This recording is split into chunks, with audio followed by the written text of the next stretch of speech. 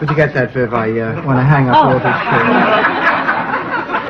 The bells are ringing for me and my. Oh.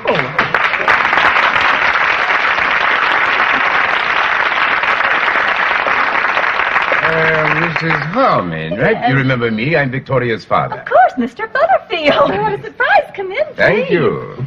My goodness, did you come to Tuckahoe all the way from oh, that darling little island of um, St. What's his name? Norman. That's his name. Uh, charmed to see you again. The last person I saw kiss a lady's hand like that was Charles Boyer in Hold Back the Dawn. Mm, That's where I picked it up. Oh. oh, please make yourself right at home. Thank you. You know, Victoria didn't mention you were coming. Well, one of our stewards fell ill, and I'm just filling in for him. But actually, I enjoy working the big 747 flight you know, from Trinidad to New York, and it uh, gives me a chance to visit with my daughter. Well, I, I hate to meet and run. but I really have to be going. Maude will be in in a minute. Uh, thank you. Oh, I forgot to tell you, Victoria isn't here. Uh, she's off on a weekend camping trip with her boyfriend, Hank. Uh, but, Mr. Butterfield, don't worry about a thing because Maude says there's not a chance they'll be getting married. They're just, um, fun trucking.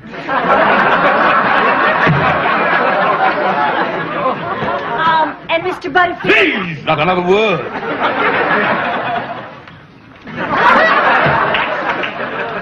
Who was that? Mr. Butterfield. What a what a pleasant surprise. Good afternoon, Mrs. Findlay. Well, we never know when you airline people will show up, do we? Um, unfortunately, Victoria isn't here. She's off on a weekend with uh, two or three or four girlfriends. I have something to do with Bible study, I believe. I'm I'm not quite sure. Would you care for some coffee? Bible study, eh? Mrs. Findlay, I consider you to be one of the most immoral, deceitful, lying, bodacious creatures to ever travel the face of this earth. Well, we all have our faults. Mrs. Findlay, how dare you allow Victoria to go off on a camping trip and, as you Americans say, shack up for the weekend? How dare you? I resent the use of that expression, shack up. I assure you, Victoria is not shacking up. What would you call it then? Tenting up. Tenting tonight on the old campground. It's an old American custom. It's also an old American song. Look, I can appreciate your concern from Victoria, but I assure you she's doing nothing wrong. She's in love. Mrs. Findlay, there is a difference between sex and love. Oh, but the difference is so small. Mrs. Findlay, if Victoria's mother were to learn of this matter, it would kill the poor woman. Now, tonight, I have to work on a 747 flying to Trinidad, but I shall return on Sunday. And I shall take my daughter back to the West Indies with me. Now, look, Mr. Butterfield, you cannot force Victoria to go home. Mrs. Findlay, you leave me no alternative. I cannot permit Victoria to stay in this permissive atmosphere. Victoria was taught to follow the righteous path in a God-fearing home. It sounds to me as though it wasn't God she was afraid of, it was you. Actually, there's really very little difference between us.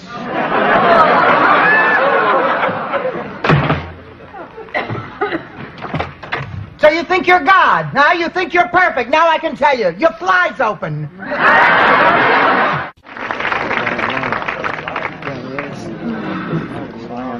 Come on, what? Cheer up. You're putting a damper on the whole evening. Walter's right, Maude. Now, we've been looking forward to this restaurant all week. Please cheer up. How can I cheer up, Vivian? You heard Mr. Butterfield. When he comes back from Trinidad, he's going to be taking Victoria home. I have never met a man more, more old-fashioned, more straight-laced, more stuffy. He does have a point, though. I forgot about you, Arthur. you know, we all love Victoria. She's a wonderful person, and she's just like one of your family. And when she leaves, it's going to be like losing a daughter. But are you going to let that tragedy ruin your whole evening? No. Let's dance, Vic.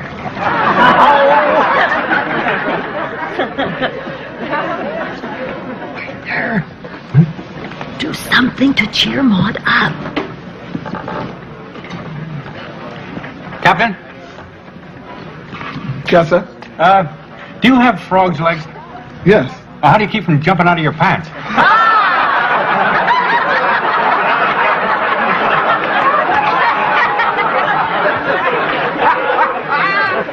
Uh, Captain, I'll have a large steak knife for three. Uh, thanks. Never mind. Maude, that was funny. Where's your sense of humor? It's on the way to Trinidad in a 747. Look, I don't want to ruin everybody's night. Why don't I go home and the three of you have dinner? Oh, Maude. Maude, you can't leave. The evening won't be any fun without you. Yes, it will. Look, maybe if I go to the powder room and freshen up and then come back and have a drink, Yeah. maybe then I'll feel like having a good time. Honey, would you get me a vodka martini on the rocks?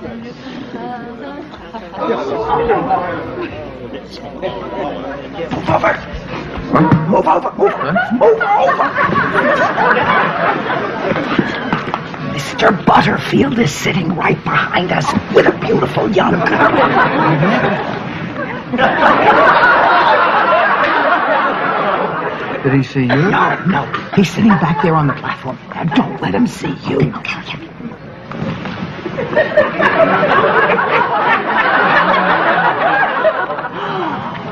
Ooh, boy, she is beautiful. Butterfield can really pick up. Him. He says he's a God-fearing man. What he is is a born-again lech. Now, wait a minute, Marty. The man is not necessarily a roue. I think we ought to give the man the benefit of the doubt. Now, everybody knows on a crowded Friday night in a hotel restaurant, they sometimes ask singles to sit together. Maybe he's just sharing her table. Look where his hand is. He's also sharing her knee.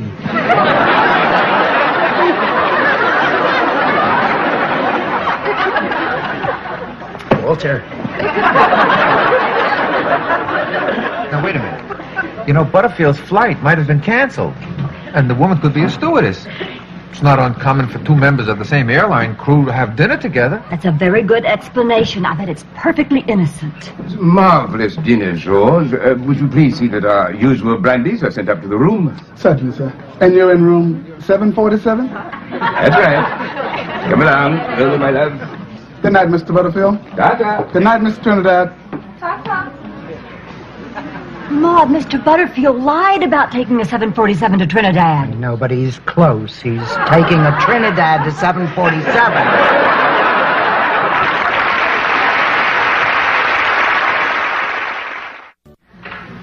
Okay, I'll tell her. And I'm glad you had a good time. Who had a good time? That was Hank calling. Victoria just dropped them off, and she'll be right home. I'll bet you had a great weekend. I'm sure she had a great weekend. I'm sure her father had a great weekend. I'm the only one who had a miserable weekend. I Didn't sleep one wink all night because of Mr. Butterfield. Don't worry, Maude. I'll bet you Mr. Butterfield didn't get much sleep either.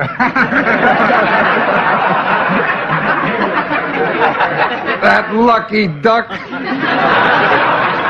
Walter, it is not funny.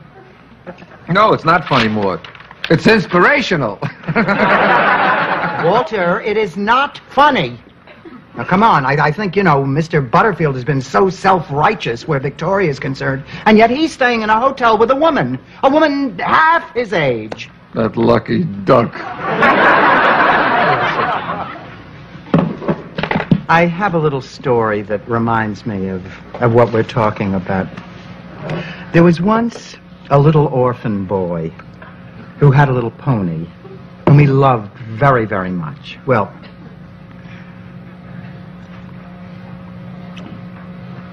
one day, the little pony ran away into the woods. The little orphan boy followed him. And when he found him, Walter, do you know what he did? He poured hot coffee on the pony's foot.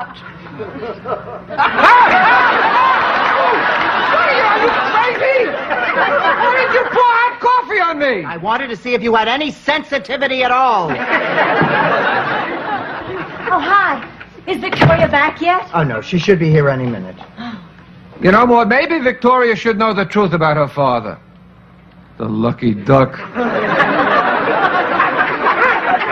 I think Walter has a point. If Victoria finds out about Lola Trinidad, then she's not going to let her father run her life.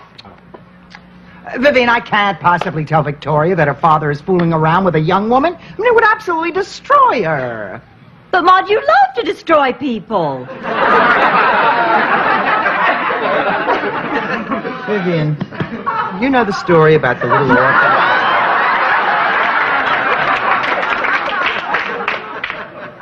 I saw the movie with Buzzy the Wonder Horse. It starred Roddy McDowall. You know, I saw him the other night on the Rockford Files. Really? Yes, and he hasn't aged much at all.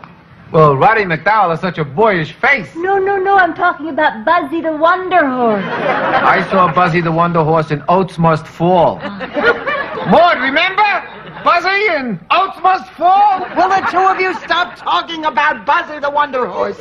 I'm very worried about Victoria. Her father's going to be here any minute. Maude, I forgot to tell you, her father isn't coming. No, no, I've had this very strange feeling all morning. And you know, I, I'm very intuitive. You know, I inherited special powers of ESP from my grandmother. Well, believe me, when I tell you Mr. Butterfield won't have the nerve to show up here, he won't show up. Wait a minute. What? That's him now.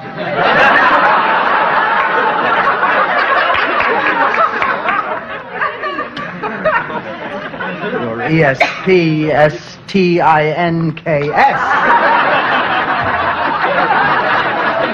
Mr. Butterfield, we were just talking about you. You remember Mrs. Harmon, my husband mm-hmm. Walter. Mr. Findlay, How was Trinidad? as usual, a delight.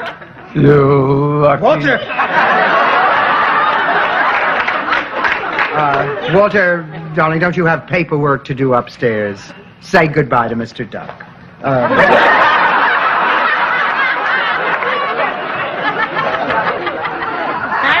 uh, Vivian, Oh, right. Uh, well, I guess I'll just be moseying along. That's what they always used to say at the end of those Buzzy the Wonder Horse movies. And then Buzzy the Wonder Horse would shake his head and go,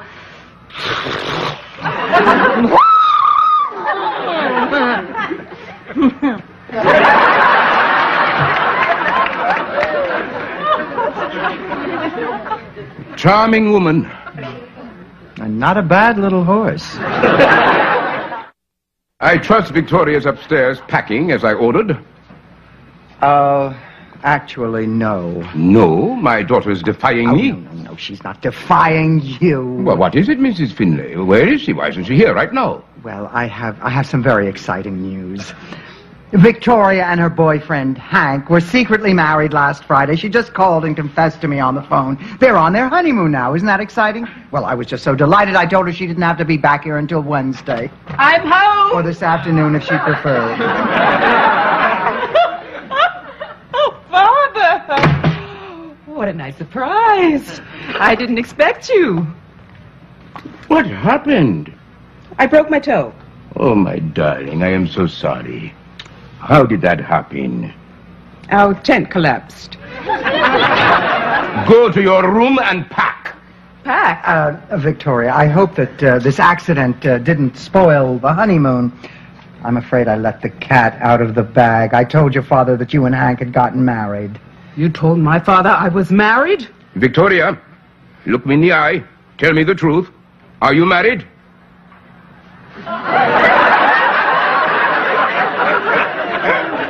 Are you married? No, Father. Now, who are you going to believe, her or me? Mrs. Oh, you stay out of this, Gimpy. Victoria, I know what you did this weekend. Your conduct is disgraceful. You are leaving this house. I am not leaving this house. Well, it will kill your poor mother when she learns of your behavior. Mama? You won't tell Mama. I must. I have no choice. Unless, of course, you decide to go back to St. Norman with me. I'll go pack. Mr. Butterfield, I cannot believe that you would stoop to threatening the poor girl's mother. Well, it's a matter of integrity. I've always been straightforward and honest with Victoria's mother. I have no secrets from my wife. May I suggest one? I don't receive your meaning. Does the word Trinidad mean anything to you? Trinidad is a very beautiful island. Surrounded on all sides by a middle-aged family man from the West Indies. I just received your meaning. I take it you were at the Launcelot Hotel last night? right, and uh, from what I gather, you prance a lot at the Launcelot. It's entirely innocent. I see I must explain to you. You see, Lola Trinidad was a tiny babe in our island. Her mother died giving birth to her in a cane field. And then her father, in a desperate effort to get milk for the child, was killed in a fall from a coconut tree. yes. It was after that that the polio struck. Polio. Ah, you would have been saddened to have seen those little limbs. We others in the village banded together to get her the best medical care. I was the leader in that effort. Thank the Lord, the child recovered. And today, Lola Trinidad is a fashion model in New York City. And now whenever I get a chance, I try to have dinner with her, just to reassure myself that she is healthy. It's a very moving story. But a happy one. Lola has the complete use of her legs. And so do you.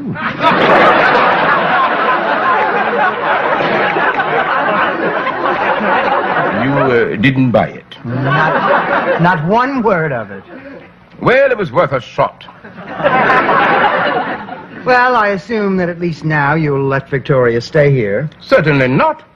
Nothing has changed. Victoria's conduct was disgraceful. Disgrace? You're the one who's disgraceful. You are a married man. You don't care anything about your wife's feelings. Mrs. Findlay, how dare you? You're speaking about the mother of my child. I adore my wife. She is an angelic woman. She is a, a pure woman. She is a saint. Wait a minute. Who are you married to down there? Debbie Boone? Come, come, come, Mrs. Findlay. You're a woman of the world. You understand these things. Although I adore my wife, occasionally I get a little itch. And when that happens, I like to get my back scratched. My husband just rubs himself against the doorway.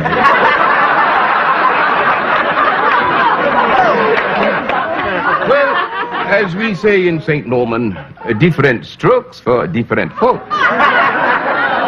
Well, I think you're disgraceful. You're immoral. You're unrepentant. Come, come, Mrs. Findlay, you're beginning to sound like Debbie Boone yourself. And I might add, Pat would never allow Debbie to go off on a shameful weekend. In other words, you're saying that what's good for the old goose is not necessarily proper for the young gander. I hardly consider myself an old goose. Yeah, well, if I were you, I'd take another gander. Mrs. Findlay, what Victoria did was wrong because she is a young woman. My case is different. I am a man. ah! The old double standard. Ah, a student of history. Ah, shut up. You cannot use being a man as an excuse. Well, it works with Lula. Does your wife know about this? Oh, heavens, no. It would kill the poor woman. What about Victoria? Would she understand? Oh, no, no, no. It would hurt her deeply. Well, Mr. Butterfield, the choice is up to you. Shall we hurt your daughter or kill your wife? How much time do we have left, Father? Uh, Victoria, I've been having a very enlightening conversation with dear, dear Mrs. Findlay. Angie has pointed it out to me that perhaps I am wrong to insist that you live up to my high moral standard. Naturally, being a bit straight-laced, I cannot condone today's permissive society. On the other hand, Vicky, I love you enough to let you lead your own life. Of course, you may stay. Oh, oh, Father, Vicky. thank you. Oh, I'm sorry I got lipstick on your collar. Didn't even change his shirt. You know, I'm very proud of you. You have made Victoria very happy. But you didn't really think that I would say anything to either your wife or to Victoria, did you? Of course not. I never thought you would. Then what made you change your mind? Well, Mrs. Findlay, you have a way of putting things. You are a very intelligent woman. I might add a very handsome woman. The first time I saw you, you were very exciting. You were like a an, an uncharted island. Just wait. Oh, Father! What a nice surprise. I didn't expect you. What happened? I broke my toe. Oh, my darling, I am so sorry. How did that happen? Our tent collapsed. Go to your room and pack. Pack. Uh, Victoria, I hope that uh, this accident uh, didn't spoil the honeymoon. I'm afraid I let the cat out of the bag. I told your father that you and Hank had gotten married. You told my father I was married? Victoria, look me in the eye. Tell me the truth. Are you married?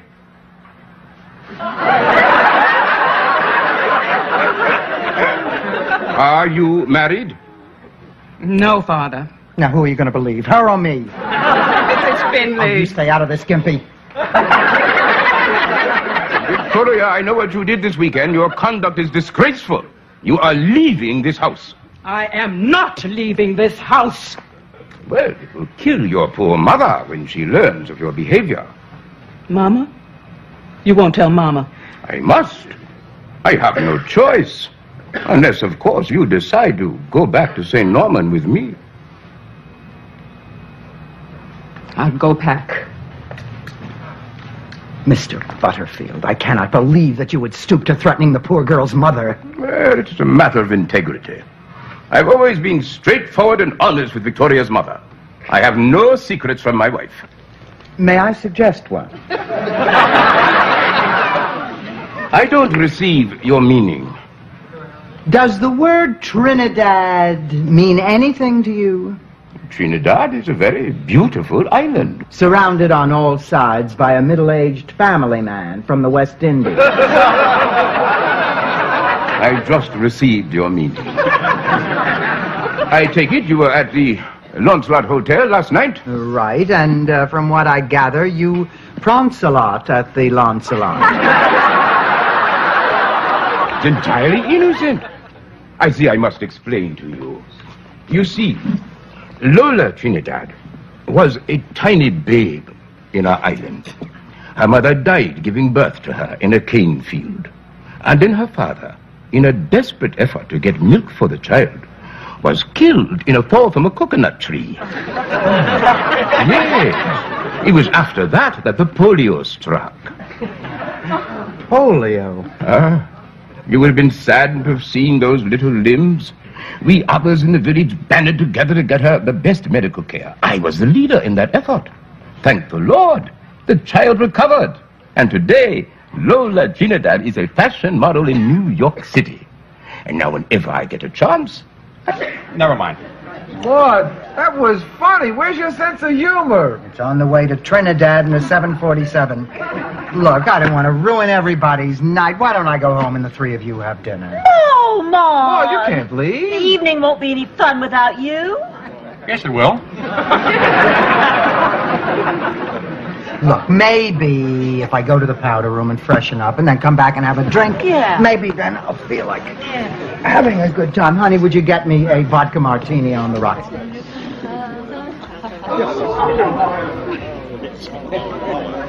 Move over. Move over. Move over. Move over. Mr. Butterfield is sitting right behind us with a beautiful young girl.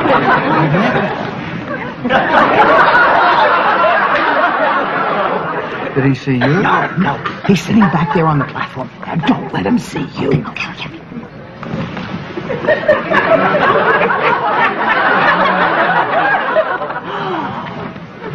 boy, she is beautiful. Butterfield can really pick up. He says he's a God-fearing man. What he is is a born-again lech. Now, wait a minute, Marty. The man is not necessarily a roue. I think we ought to give the man the benefit of the doubt. Now, everybody knows on a crowded Friday night in a hotel restaurant, they sometimes ask singles to sit together. Maybe he's just sharing her table.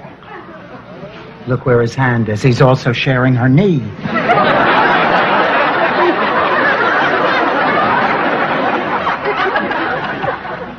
Walter. Now, wait a minute. You know, Butterfield's flight might have been canceled. And the woman could be a stewardess. It's not uncommon for two members of the same airline crew to have dinner together. That's a very good explanation. I bet it's perfectly innocent. Marvelous dinner, George. Uh, would you please see that our usual brandies are sent up to the room? Certainly, sir. And you're in room 747? That's right. Come along, early, my love. Good night, Mr. Butterfield. Ta-ta. Good night, Miss Trinidad. Maude, Mr. Butterfield lied about taking a 747 to Trinidad. No, but he's close. He's taking a Trinidad to 747.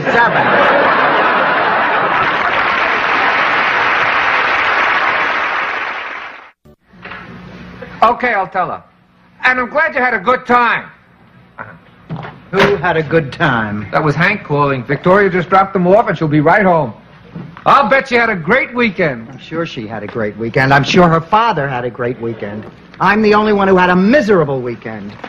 Didn't sleep one wink all night because of Mr. Butterfield. Don't worry, Maude. I'll bet you Mr. Butterfield didn't get much sleep either. Seven. Look, I don't want to ruin everybody's night. Why don't I go home and the three of you have dinner? Oh, Maude. oh, you can't leave. The evening won't be any fun without you. Yes, it will. Look, maybe if I go to the powder room and freshen up and then come back and have a drink, Yeah. maybe then I'll feel like having a good time. Honey, would you get me a vodka martini on the rocks?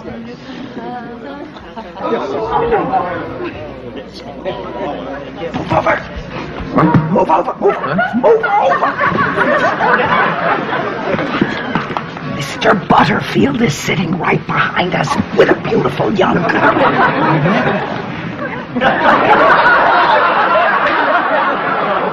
Did he see you? No, no. He's sitting back there on the platform. Now, don't let him see you. Ooh,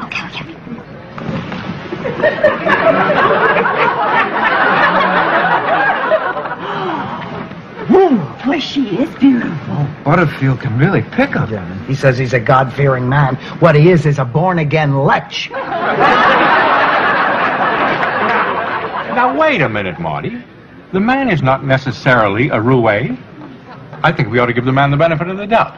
Now, everybody knows on a crowded Friday night in a hotel restaurant, they sometimes ask singles to sit together. Maybe he's just sharing her table. Look where his hand is. He's also sharing her knee.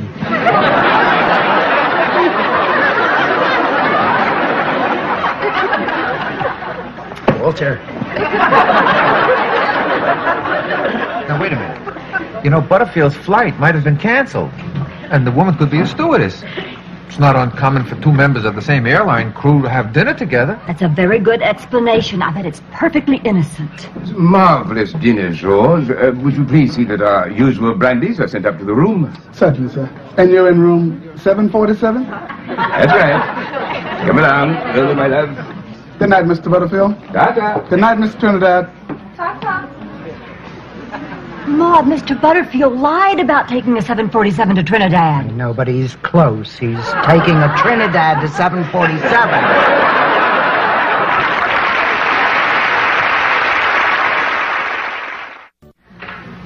Okay, I'll tell her. And I'm glad you had a good time. Who had a good time? That was Hank calling. Victoria just dropped them off and she'll be right home. I'll bet you had a great weekend. I'm sure she had a great weekend. I'm sure her father had a great weekend. I'm the only one who had a miserable weekend. Didn't sleep one wink all night because of Mr. Butterfield. Don't worry, Maude. I'll bet you Mr. Butterfield didn't get much sleep either.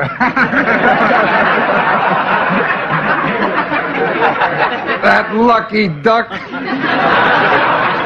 Walter, it is not fun. Certainly not. Nothing has changed. Victoria's conduct was disgraceful. Disgrace. You're the one who's disgraceful. You are a married man. You don't care anything about your wife's feelings. Mrs. Findlay, how dare you? You're speaking about the mother of my child. I adore my wife. She's an angelic woman. She is a, a pure woman. She's a saint. Wait a minute. Who are you married to down there? Debbie Boone?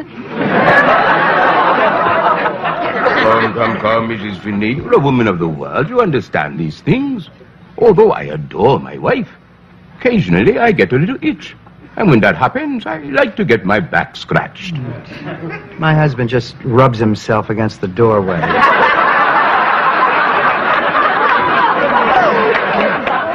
Well, as we say in St. Norman, different strokes for different folks. Well, I think you're disgraceful. You're immoral. You're unrepentant. Come, come, Mrs. Finney, you're beginning to sound like Debby Boone yourself. And I might add, Pat would never allow Debby to go off on a shameful weekend. In other words, you're saying that what's good for the old goose is not necessarily proper for the young gander. I hardly consider myself an old goose. Yeah, well, if I were you, I'd take another gander.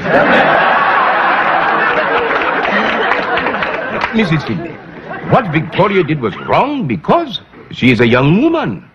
My case is different. I am a man. ah! The old double standard. Ah, a student of history. Ah! Shut up. you cannot use being a man as an excuse. Well, it works with Lola. Does your wife know about this? Oh, heavens, no. It would kill the poor woman. What about Victoria? Would she understand? Oh, no, no, no. It would hurt her deeply. Well, Mr. Butterfield, the choice is up to you. Shall we hurt your daughter or kill your wife? How much time do we have left, Father? Uh, Victoria, I've been having a very enlightening conversation with dear, dear Mrs. Findlay.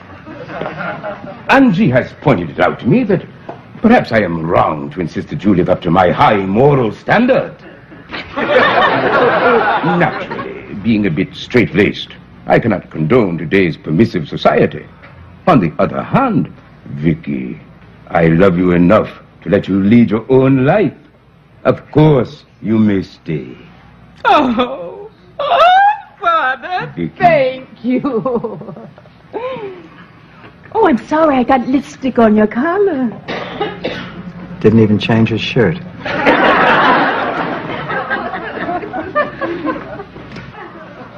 Look where his hand is. He's also sharing her knee.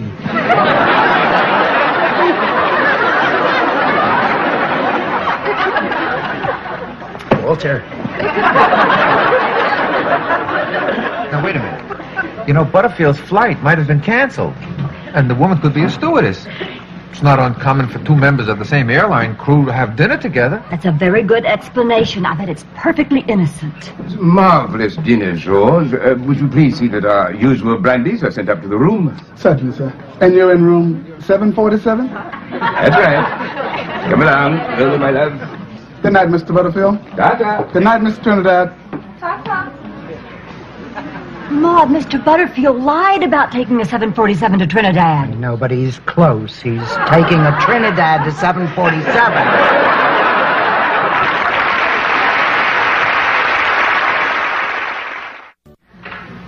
Okay, I'll tell her. And I'm glad you had a good time. Who had a good time? That was Hank calling. Victoria just dropped them off and she'll be right home. I'll bet you had a great weekend. I'm sure she had a great weekend. I'm sure her father had a great weekend. I'm the only one who had a miserable weekend. I didn't sleep one wink all night because of Mr. Butterfield.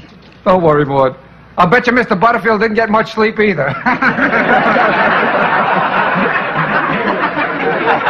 that lucky duck.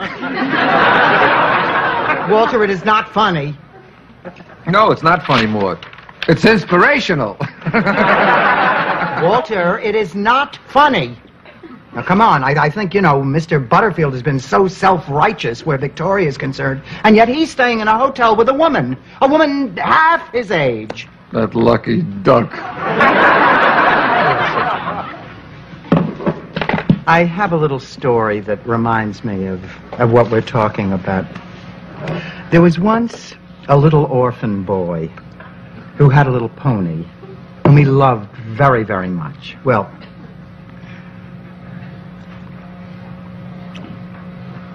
one day, the little pony ran away into the woods.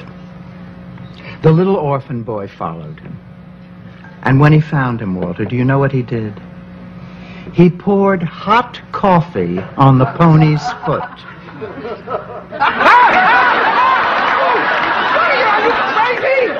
Why did you pour hot coffee on me? I wanted to see if you had any sensitivity at all. Oh, hi. Is Victoria back yet? Oh, no, she should be here any minute. You know, Maude, maybe Victoria should know the truth about her father. The lucky duck. I think Walter has a point.